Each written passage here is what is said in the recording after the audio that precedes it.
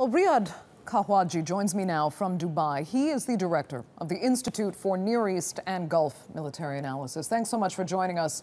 The Gulf states are uh, mostly cheering this decision by Trump, mainly Saudi Arabia. Why was this anti Assad airstrike good from the Gulf's perspective?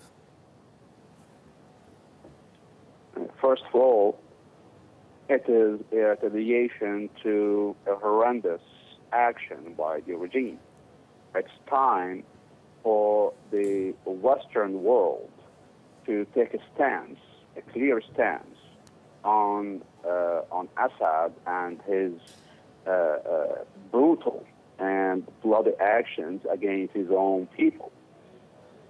Second, these are countries, the, the, the majority of the Arab countries have taken a stance against Assad from day one and they've been calling for the removal of this regime. As you know, Syria, the Syrian regime, has been expelled from the Arab League. The, the membership of Syria in the League of Arab States has been suspended uh, ever since the start of uh, the uh, revolution uh, in Syria.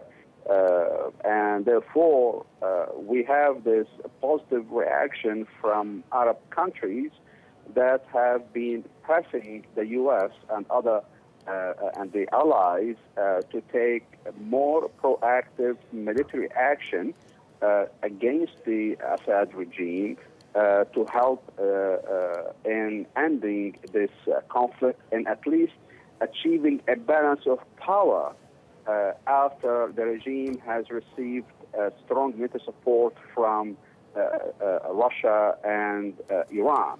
Uh, this strike sends a clear signal that with the new administration, uh, we could see now uh, uh a, a, clear change in Washington's policy.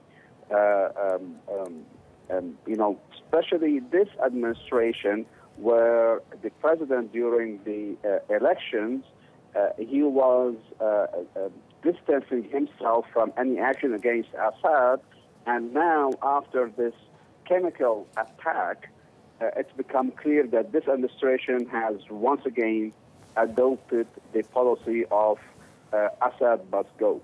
Okay. Riad Kahwaji, we'll leave it there. Thank you so much for joining us with your insights from Dubai.